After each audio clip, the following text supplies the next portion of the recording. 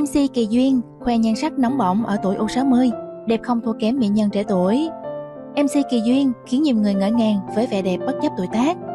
Mới đây MC Kỳ Duyên đã chia sẻ loạt ảnh cô diện đồ bơi, khoe vẻ đẹp cuốn hút cùng những đường cong nóng bỏng.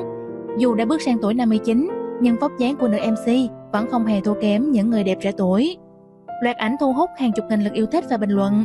Kỳ Duyên nhận được cơn mưa lời khen như trẻ đẹp quá, đẹp xuất sắc, công nhận Kỳ Duyên đẹp không tì vết. Kỳ Duyên nằm trong top lão hóa ngược. Phải nói trẻ đẹp ngược thời gian. Thật sự không dám gọi cô Kỳ Duyên bằng chị, nhưng mà gọi bằng cô thì là một sự xúc phạm đối với nhan sắc không tuổi của cô.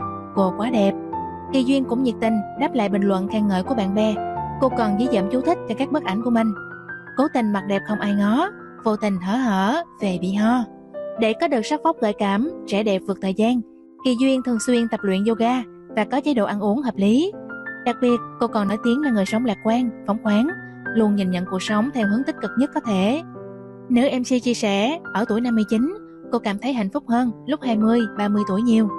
Lúc trẻ, tôi gặp stress nhiều vì phải lo đi học, đi làm, đi kiếm tiền, phải gây dựng sự nghiệp, phải lao đầu vào tranh đấu với cuộc sống, sinh con đẻ cái, lo rất nhiều thứ. Tôi còn sợ thiên hạ bàn tán, nói này nói kia về mình.